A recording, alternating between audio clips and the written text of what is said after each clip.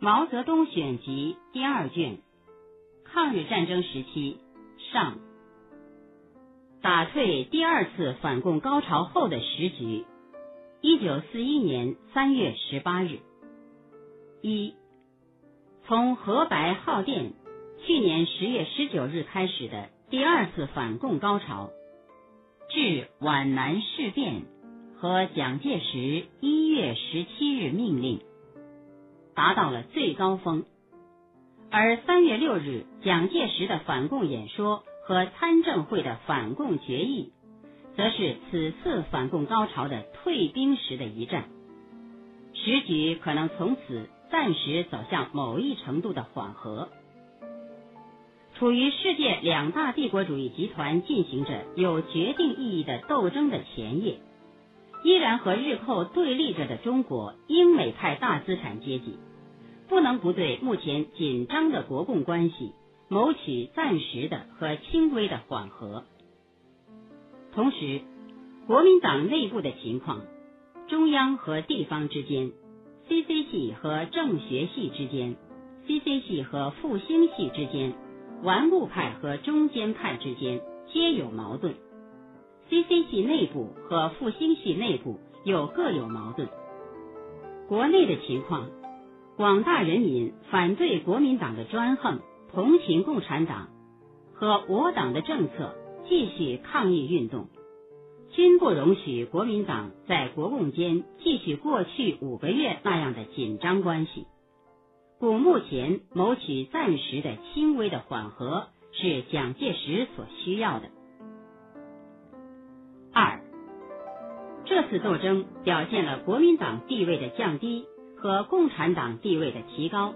形成了国共力量对比发生某种变化的关键。这种情况迫使蒋介石重新考虑他自己的地位和态度。他现在强调国防，宣传党派观念已陈旧，乃是企图以民族领袖的资格站在国内各种矛盾之上，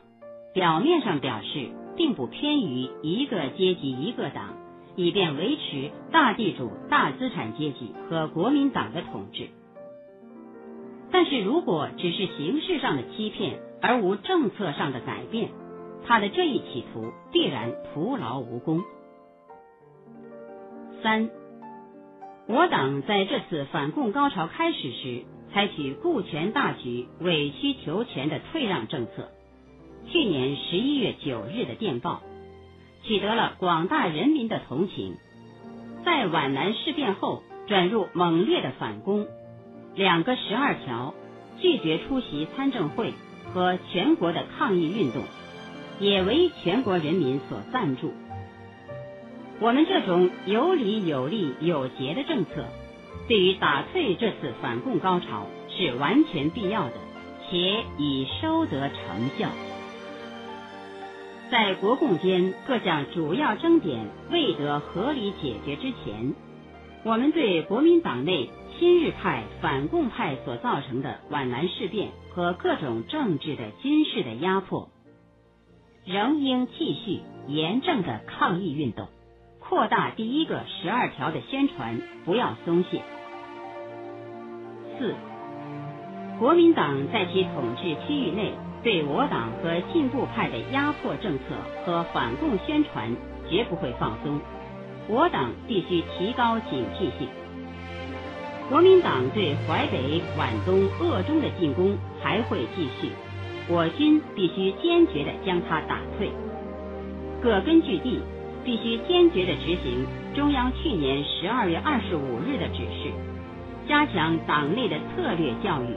纠正过左思想。以便长期的、不动摇的坚持各抗日民主根据地，在全国和各根据地上，要反对对时局认为国共已最后破裂或很快就要破裂的错误估计，以及由此发生的许多不正确的意见。